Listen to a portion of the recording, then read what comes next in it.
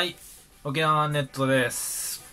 えーこのチャンネルは、沖縄旅行、沖縄移住、えー検討されている方とか、計画されている方に、えーお届け、情報をお届けしている YouTube チャンネルです。え今回なんですけれども、まあその、我々ウェブメディア、ウェブ上でですね、沖縄 .net っていう情報メディアを運営してる。これが母体になって、ここのチャンネルもできてます。で、その、えー情報メディアの中で、今のところ一番視聴率が高い記事の内容を、えー動画に今日はしていこうと思います。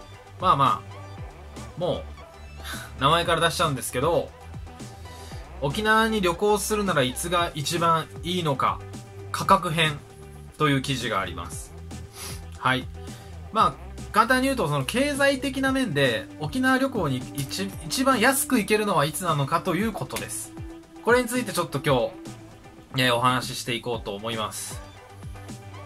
価格面で沖縄旅行が一番いい時期はいつなのかっていうことなんですけれども、沖縄旅行にかかる費用っていうのは、まあ、どこに関する旅行でも一緒かもしれないんですけど、時期によってめちゃくちゃ差があるんですね。で、沖縄っていうのは、あの、飛行機を絶対に使うので、航空費用もあるじゃないですか。時期によって。ゴールデンウィークとか夏休み高いとか。ね、あると思うんですけど、なんかそういう面でもいろんな差が出てくるので、ちょっと、えー、今回は沖縄旅行を検討されてる方とか、えー行こうと思ってる方には、かなり耳寄りな情報かなとは思いますので、どうか最後まで、えーご覧ください。はい。じゃあ最初に、じゃ逆に、逆にっていうかまだ何も話してないんですけど、あの、価格的に沖縄旅行に向かない時期を最初に出した方がいいと思います。結論から申し上げると、沖縄旅行に一番向かない時期は、7月と8月です。7月と8月が一番沖縄旅行は向いてないです。理由があって、えー、一番観光客が多い時期なんです。あれですよね、あのーお盆とか、お盆って4月8月？とか、あのー夏休みとか、まあ、そういう大型連休みたいなのが集まってるのが7月8月なんですね。で、なおかつ7月8月って多分日本で一番夏じゃないですか。めちゃくちゃ夏じゃないですか。だから、もうこの時期こそ沖縄行こうっていう人はめちゃくちゃ多いですね。なので、えーこの時期が沖縄は一番人が多いです。もうほんとどこ行っても人多いです。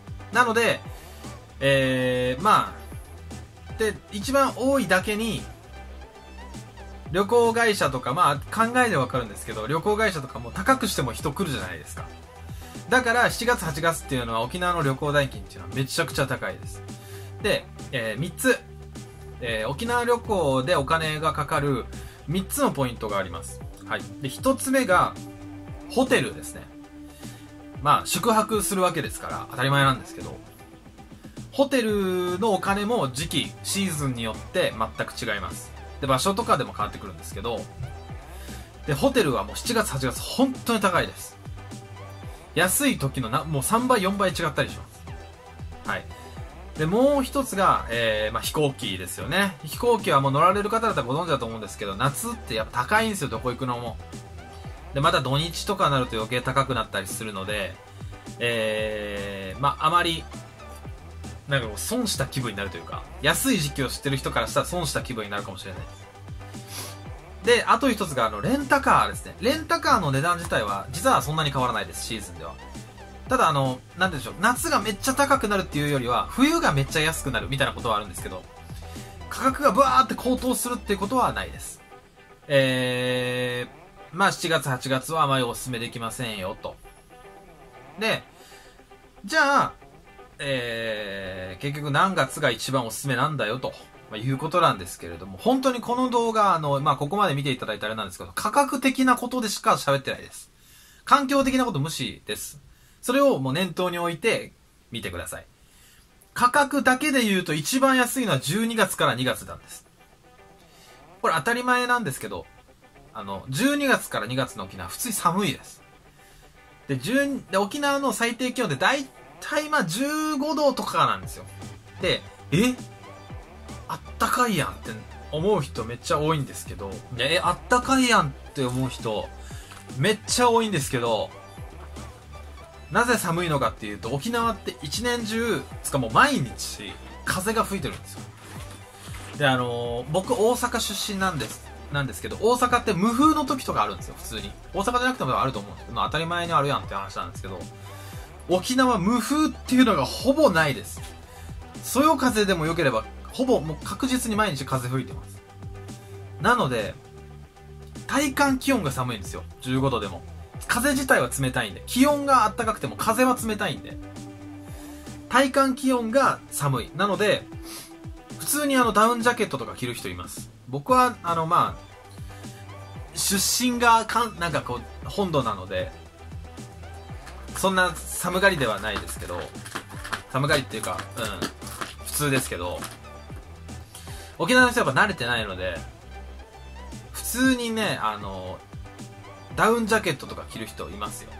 で、あの、寒いっていうことで海に入れないので、結構沖縄といえば海って感じするじゃないですか。ですので、うーん、楽しむ要素が少なくなっちゃうのかなとは思います。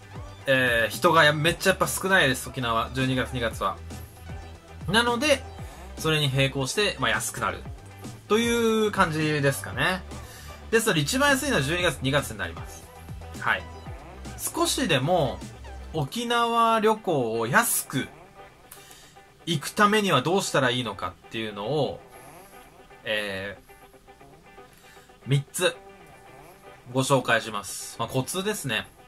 この3つを押さえれば、普通よりは安くなるんじゃないかなとは思います。で、1つは、宿を節約するということですね。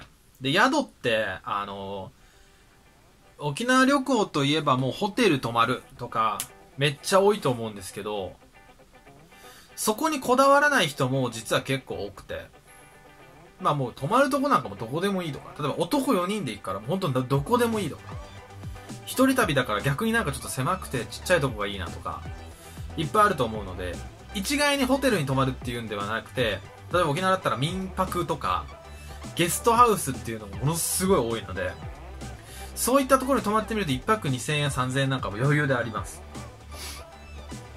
なので、え、そこまでこだわらない方は、ホテルではなくそういったとこ活用してみると、かなり安く済むと思います。で、えーもう一つは、飛行機を格安航空にする。まあ、いわゆる LCC ですね。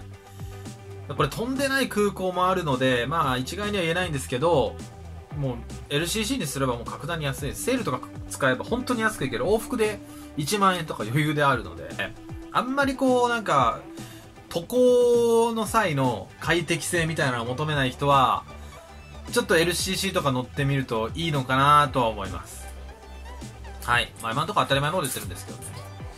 で、あのーもう一個が、レンタカーなんですけど、沖縄旅行はもうレンタカーも必須です。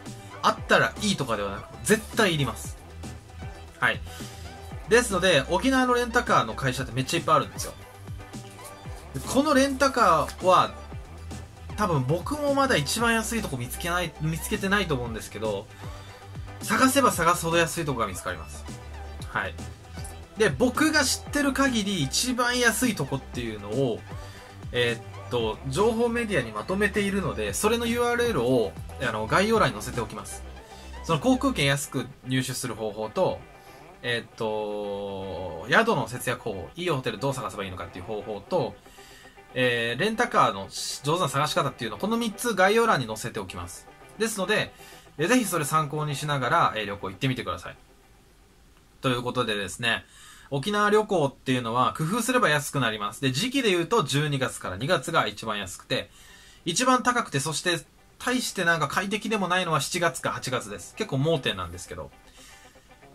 このポイントを押さえて沖縄旅行を計画していただければ結構楽しめるし、うん、コストも安く済むと思います。ぜひ参考にしてみてください。